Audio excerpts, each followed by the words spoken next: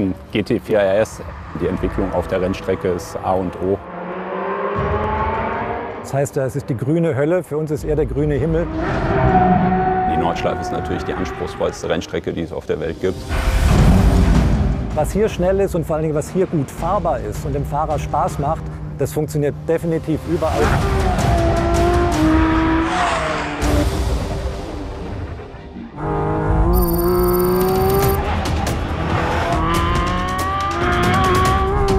So was Extremes und so Cooles äh, haben wir schon lange nicht mehr gehabt.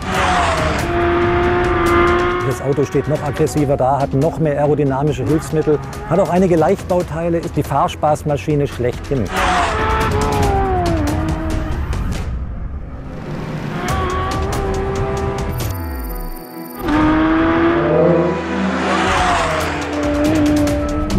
Die Modifikation, die ich am meisten spüren kann, ist natürlich die Motorleistung. RS heißt ja Rennsport.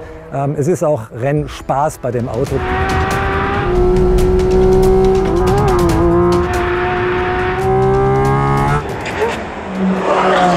Das macht einfach nur ein wahnsinnig großes Grinsen auf jedes Fahrers Gesicht.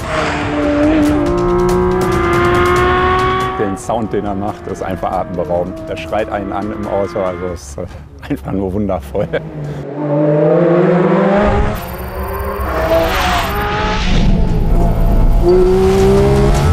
War schon wirklich eine sehr gute Runde.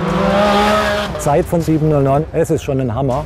Mit Abstand der beste 718, den ich bisher gefahren bin. Man steigt ein und will nicht mehr aussteigen. Und das ist, äh, was uns so, so viel Spaß macht in dem Auto.